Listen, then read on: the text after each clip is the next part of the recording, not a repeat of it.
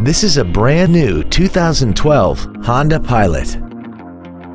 This crossover has a 5-speed automatic transmission and a 3.5-liter V6. Its top features include a multi-link rear suspension and a tire pressure monitoring system.